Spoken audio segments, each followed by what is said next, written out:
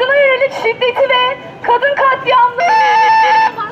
Mücadelemizi büyütmek için dün olduğu gibi, bugün olduğu gibi ve yarın da olacağı gibi sokaklardayız.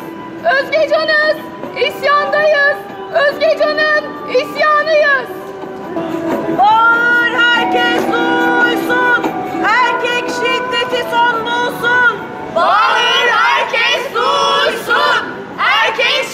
this